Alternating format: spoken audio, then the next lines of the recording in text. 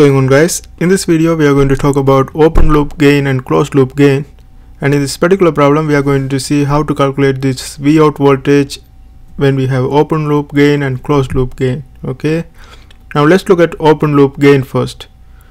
To calculate open loop gain what we do is this is the equation. Vo for open loop gain we are doing the a part. Vo is equal to a that is open loop gain times the voltage input. In our case the voltage source is going to be the voltage input because that's that's the one connected to here right? So this is our input voltage and that is equal to 2 voltage. So we can say this is a times vi and that is equivalent to 2 times open loop gain is given that is 2 times 10 to the power of 5 and the, let's let's analyze these terms. Ri this is input resistance that is the resistance in between this inverting terminal and non-inverting terminal. And output voltage output resistance is the resistance right here okay? And the voltage source is given that is 2 voltage and this is open loop gain that is a. A is 2 times 10 to the power of 5 so this is 2 times 10 to the power of 5 and our input voltage is 2 voltage and this voltage is going to be same across here because you can see the given input resistance is 2 mega ohm. So that's the resistance in non resistance between non-inverting and inverting terminal.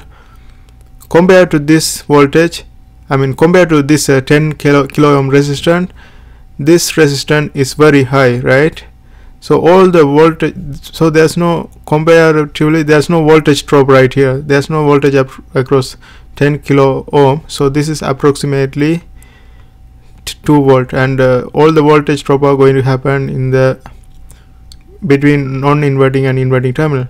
So this is going to be 2 voltage. So we can say our input voltage also 2 voltage right? So this is 2 voltage and if you calculate this one that's going to be 4 times 10 to the power of 5 and 4 times 10 to the power of 5 is basically 400,000 so this is very huge number right? So this is not going to be the case because if we if we have large number we are going to have the voltage output that's going to be equal to VCC whatever the voltage output by the voltage supply. So this is the first one that is the voltage output when we have open loop gain.